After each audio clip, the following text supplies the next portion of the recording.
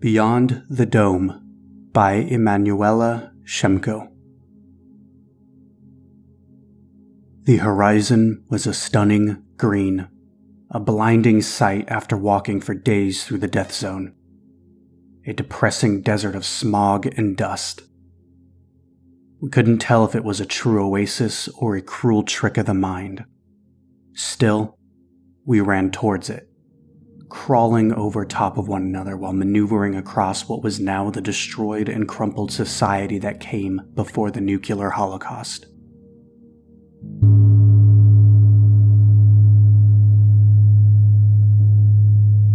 The year is 2105, and the Council sent us to save the world. The dying, already practically dead world. Earth has almost entirely run out of food fresh water, and greenery.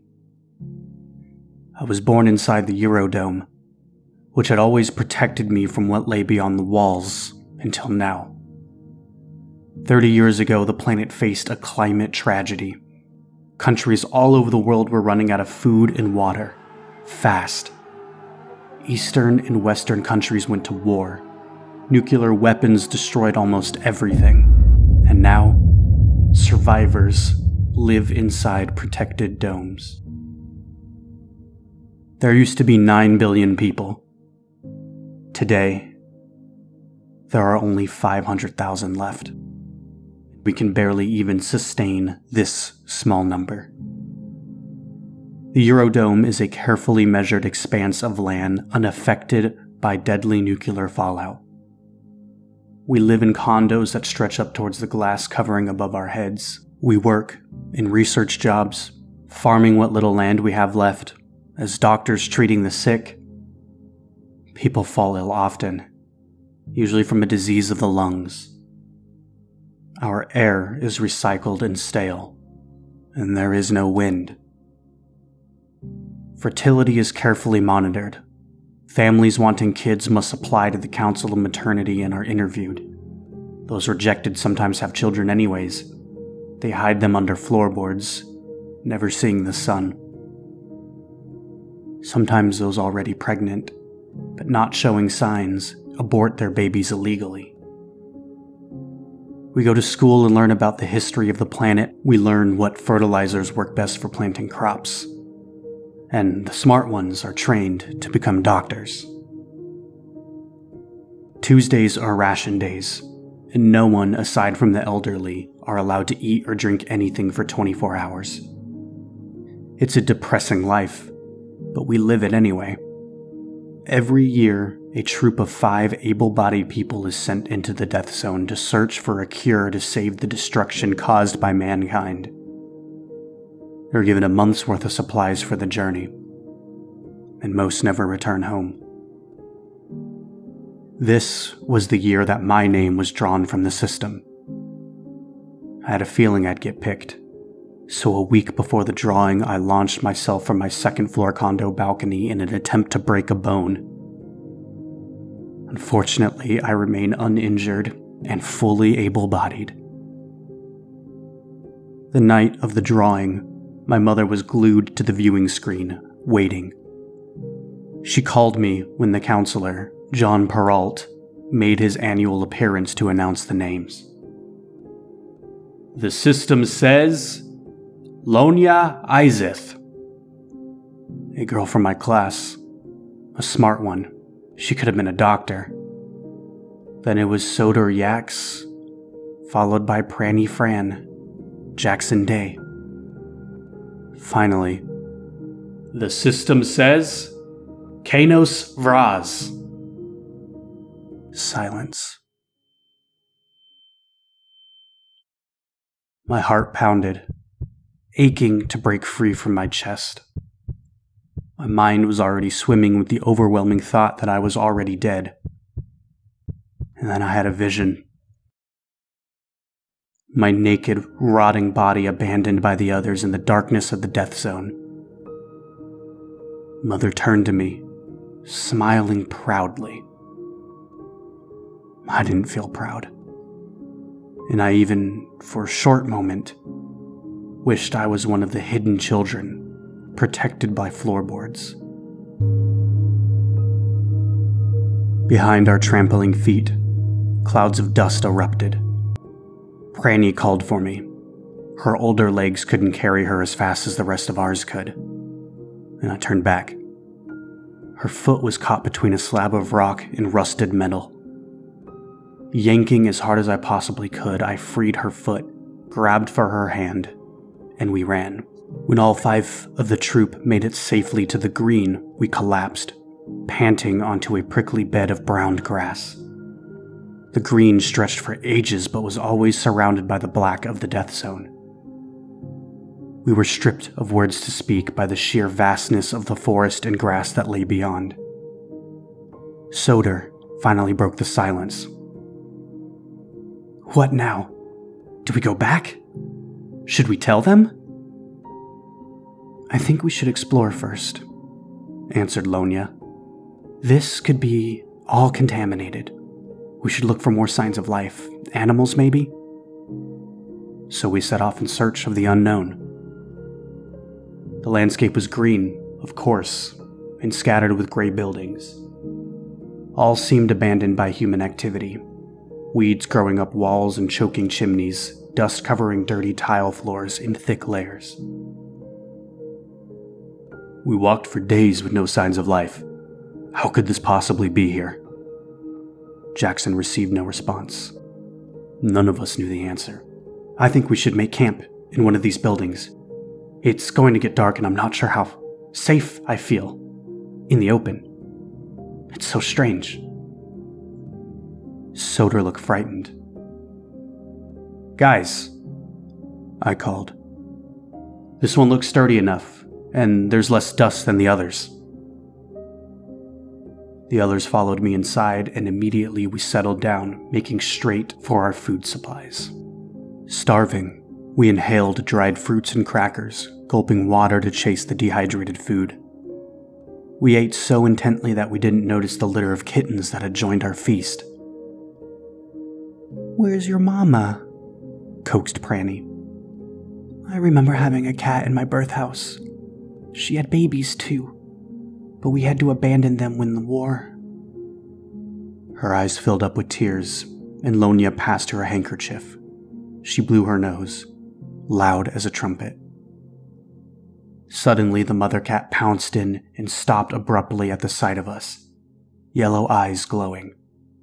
She meowed, then scampered up a broken post. Her kittens scattered, following her into the darkness of the attic. Danger, said Pranny, she knows something's wrong. I ran to the smashed kitchen window and peered out. Bears, I whispered. Quick, grab all the gear and get to the top floor. Go, now. From a bedroom window, we watched keenly. Two massive brown bears were sniffing the walls. They knew food awaited them inside. They searched inquisitively, and we watched them with the same curiosity. I'd only seen a bear in books and in classroom lectures. One grunted at the other, a signal that it was time to invade. The crash of the falling front door came next. I held my breath, not wanting to risk making a sound. I gestured at the others to keep quiet, and they nodded. Glass shattered and wood splintered below us, the heavy footprints toward the bottom floor. They found nothing and finally left. Let's sleep up here for the night.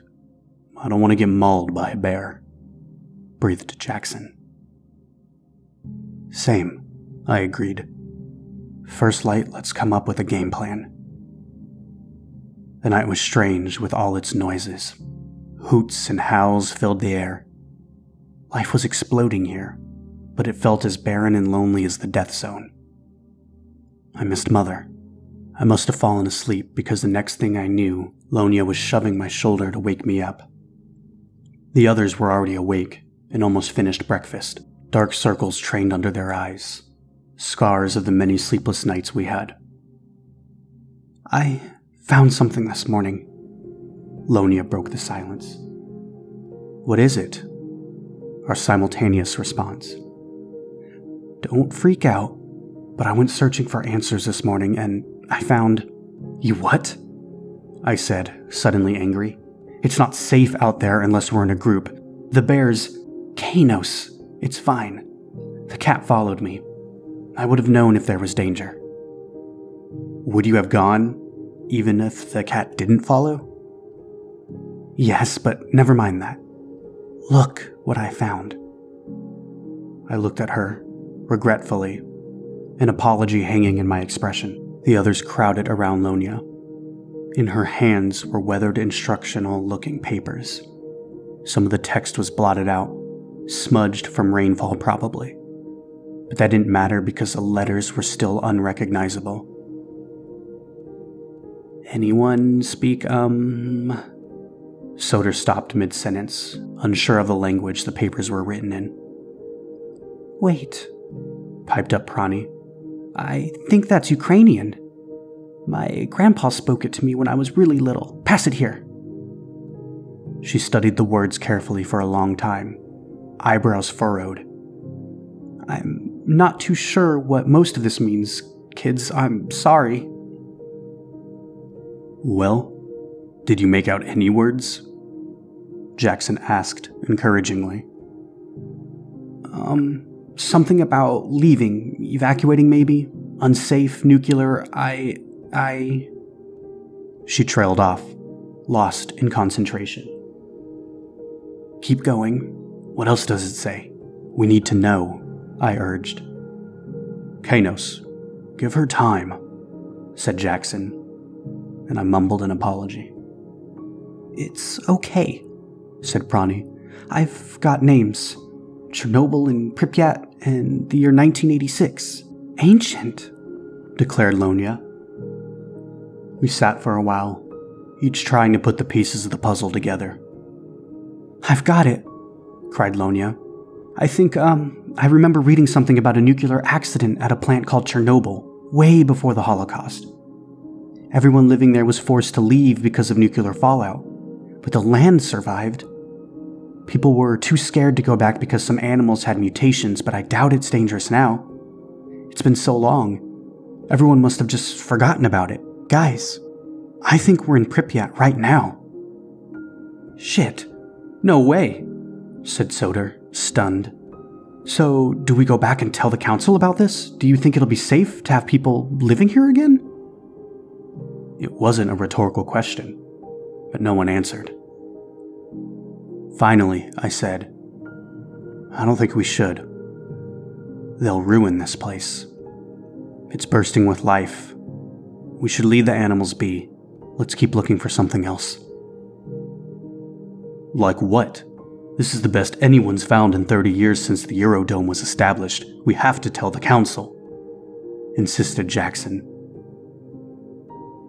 No. I think Kanos is right. We should leave this place be, retorted Lonia. Kids, said Prani. Jackson and I continued arguing, ignoring her. Kids! She said again, louder this time. Sorry. What is it, Prani? My grandpa, he told me a story once, and I can't believe I'm only thinking of this now. He was worried, I think. He knew the Holocaust was coming.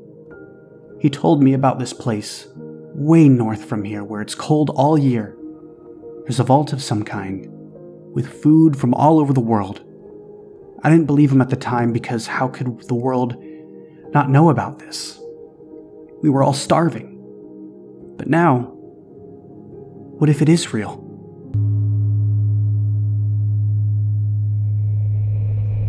The icy wind slashed our faces with cold. We trudged on, feeling hopeless. If there really was a seed vault, it must be buried deep under the snow by now but it's too late to turn back.